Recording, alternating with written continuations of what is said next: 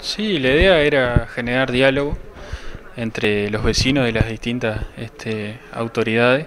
Tuvimos una muy buena respuesta de, las autoridades, las máximas autoridades de, policía, de, intendencia, los vecinos que se organizaron muy bien, hicieron una reunión ayer, mandaron sus delegados y se aborda el tema de una manera este, integral, ¿no?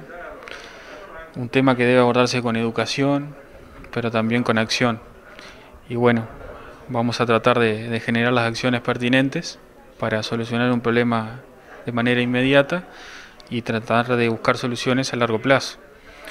Hay muchos actores involucrados, policía, intendencia, con sus distintas ramificaciones, municipios, los jóvenes, los vecinos. Eso iba Pablo, faltó alguien hoy. Fueron los jóvenes que conocen mejor que nadie quiénes son los que hacen disturbios, porque el 99,9 son gente espectacular. Sí, este, la idea, tenemos la idea también de, abordarlo desde los centros educativos. Por ahí también se planteó que hay muchos que no están dentro de la educación formal, lo que es una, una pena, ¿no? Pero es un tema complejo que se está dando en, muchos lugares, que hay que tratarlo con, con educación, con responsabilidad, que lamentablemente nos tocaron vivir escenas feas en la, en la, en la ciudad nuestra, pero que se han visto en, otro, en otras ciudades de, del departamento. Todo esto también no debemos olvidar lo que se está dando dentro de un contexto de, emergencia sanitaria, en el cual no podemos bajar los brazos. Tenemos una ciudad como Carmelo que, está viviendo momentos feos este, y no queremos volver.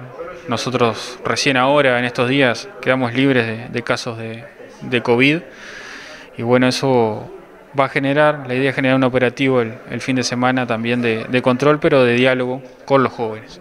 Así que van a venir autoridades de, salud pública, de, distintos organismos para... INAU, que es muy importante. Es muy importante la, mano que nos puede dar el INAU con las gestiones que haga el, intendente.